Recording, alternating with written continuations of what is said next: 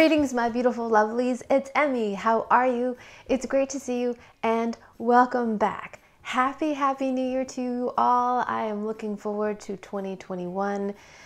2020 was was something. We'll just leave it at that. And I'm looking forward to this year and I hope you all are well. I hope you had a good new year. We just stayed at home, my family and I, and yeah, it was great. It was really lovely to spend time with my family, which I've been doing a lot of. And I'm just so grateful for them. I am so grateful for you. And yeah, looking forward to new beginnings. Alrighty, so I am here today for just a quick video. I wanted to give you a couple updates. If you haven't noticed already, there have been a few updates on my channel. I just did a little bit of housekeeping. I put in a new banner, a new avatar, it's just a great way to start the new year. I feel like just a new start, a fresh start. Um, some other changes as well. I also changed my channel name to Emmy Made instead of Emmy Made in Japan. It has been a long time coming. I left Japan soon after my first child was born. That was eight years ago. Eight years ago. I am so grateful for the experience because I built my channel there. I started my channel there as just a project because I was lonely and wanted to explore more Japanese foods on camera. I had just recently moved to Japan and was discovering all kinds of new things about it and thought, why not start filming this on camera and learn how to edit along the way? that was back in my apartment when I was recording vlog type videos, tasting food, candies on my laptop didn't really know all that much and it was it was fun. It was a fun project. The name emmy made in japan was intended for the channel because i was going to be making craft projects and they were going to be made while i was living in japan.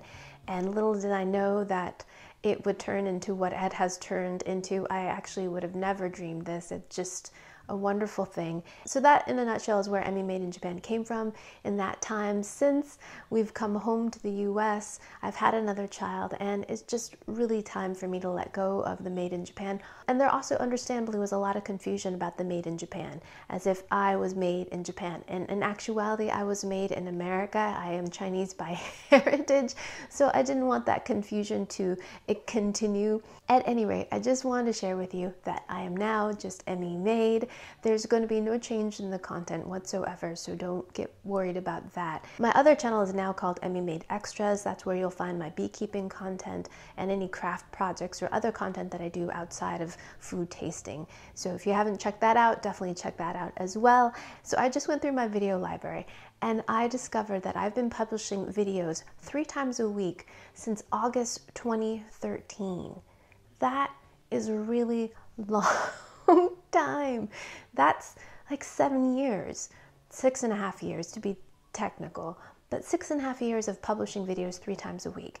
And now I'm going to be publishing videos two times a week. So that will give me a little bit more time to focus on projects, maybe extend projects, and maybe do some bells and whistles in my editing that I haven't been able to do because I've been on a three video a week publishing schedule for such a long time. So that's it for updates. I'm really looking forward to 2021, just allowing myself to be open and embracing change and looking forward to new possibilities. So I hope your new year is going well for you. Now, today I thought I would try this little throwback. It's a throwback because it is a Japanese kind of candy like toy. I picked this up over a year ago now. The last time I was in Japan, it was in November 2019. These are edible bubbles, but on top of being edible bubbles, you can make them yourself by adding any kind of juice or kind of sweetened drink you like. So, what I'm going to opt for is Coke. So I'm going to be making homemade Coke. It's not exactly a DIY because I'm not making it from scratch, but I'm super excited to make this little concoction,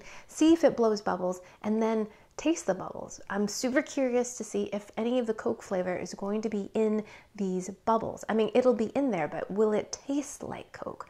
So this is really nostalgic for me because my channel really started when I was exploring Japanese candies and candy making kits. So super fun and appropriate. Shabondama, which are bubbles. I bought this at Don Quijote, which is a really great novelty store in Japan. They also have locations in Hawaii. If you're ever in Hawaii, visit Don Quijote. It's just it's an incredible place. It's like a novelty department store on steroids. At any rate, that's where I found this. And in hindsight, I probably should have gotten like five of these so I could test out different ones, but I only got one. So we gotta roll with it. And in it, we have a liquid. Oh, cool, look at that. It's a bubble container. And inside, we've got a bubble wand. So we're gonna take this mixture here.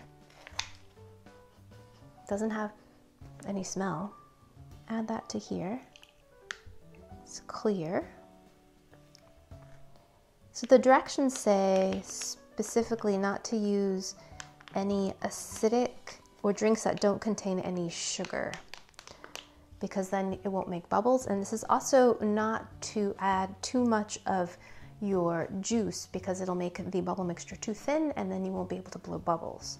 So inside there, you won't be able to see it, I don't think, is a fill line where you add your juice. And it says specifically not to add more than 15 milliliters, which I believe is one tablespoon. But let me make sure. One tablespoon is 15 milliliters. Let's crack my Coke. Coke. I love Coke. So this isn't very much Coke, but this isn't very much bubble solution either. So let's go ahead and add, I'm gonna add a little less because I don't want it to be too thin. So there's a kokomade line, that means just to here. It's really hard to see. Okay. I'm just gonna stir that with a chopstick because I don't want this to get too sudsy. Because if you've ever made bubble solution before, you don't want it to be too sudsy because then you can't make a nice film, which then interferes with the whole. Okay, so we've got our wand, which is a double wand, and immediately we have foam. so I'm gonna tap off the excess foam. We have a film, here we go. Huh. Highly anticlimactic.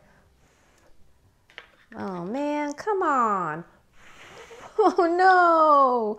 These kids always work. I had to bruise your ego in order for you to work, right, Bubbles? All right, here we go. Yes. Okay, okay, give me a stream of bubbles. Okay, here we go. Yes! Alrighty, here we go. Itadakimasu. Oh, tastes like soap. Let's try again. Here's how to buy non-toxic soap. Now, now its ego is really bruised. Now it's mad at me and it doesn't want to perform. Alrighty, let's try again. Okay, okay, it's not too mad at me. Here we go. Ugh, tastes like soap. It tastes like dish soap. Doesn't taste like Coke at all.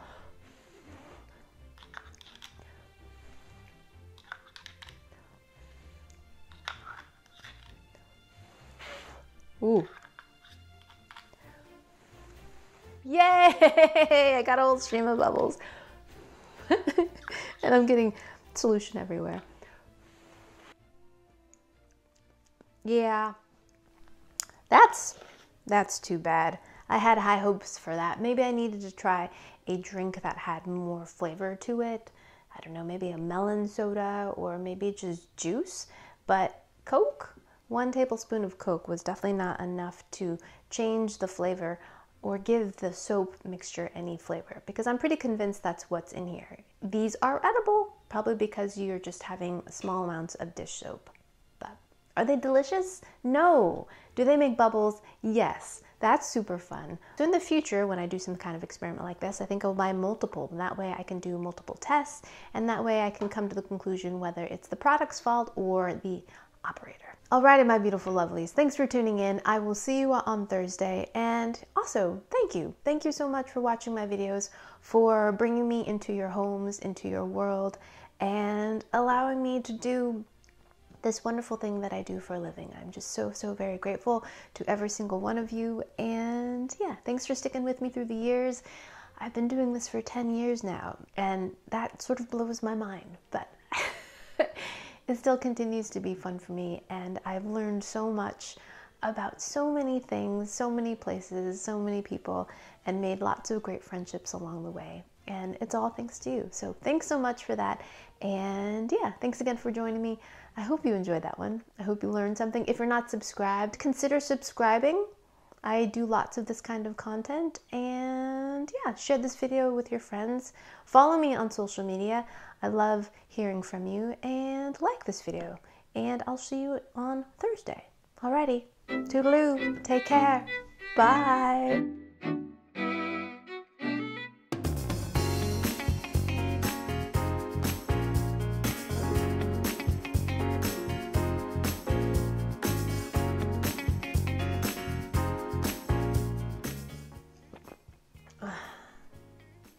Now I want some fries.